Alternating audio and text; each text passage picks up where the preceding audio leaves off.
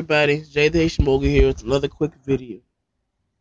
Hey everybody, it's Jai the Haitian Mogul here with another quick video.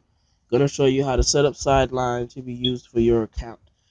And you can use this number to replace your phone number and just pass it out if you're doing online marketing so that way you don't have to give out your personal phone number. First things first, you come here, you type in Sideline, it'll show up, click on it, then install.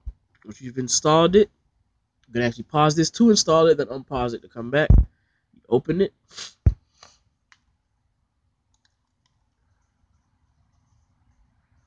Alright. Now I've had an account with this already. I just deleted my account, so I'm gonna try to see if they'll let me create another one or a newer one.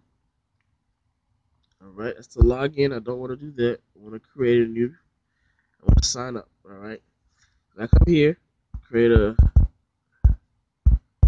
quick little password so you can see how it works and hit create account. Now, I was gonna say it's already been used, okay? So now it's gonna want to deactivate the old number, which is fine with me. Proceed. Now it's gonna send me a text message to make sure I'm still using this phone. Alright, now this is my other phone. I got a few other different phones. Well, this one is my like second phone, and the one I usually use is my main phone. Alright, so you could use this one you can select different area codes for your area. And I'm in Atlanta. I want something that's local for me because it's where that's the area that I'm in. You can choose whatever you want actually. Um, that one for I believe the option if you're in New York. Something in um California possibly.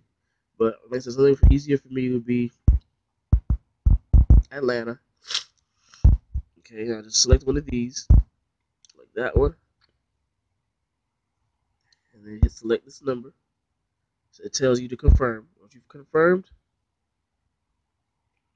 that's it. Just wait for it to show up. There it is. And that's to pay for 99 cents a month to keep it.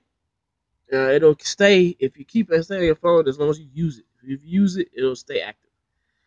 So now you could actually copy it and share it to wherever and I'll send a text message to it so that you can see that it's working.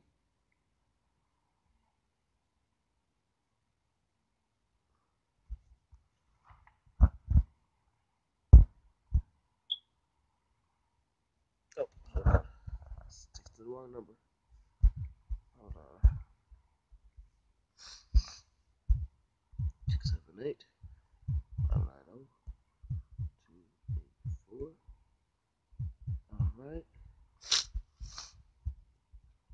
And there it is. And that's it.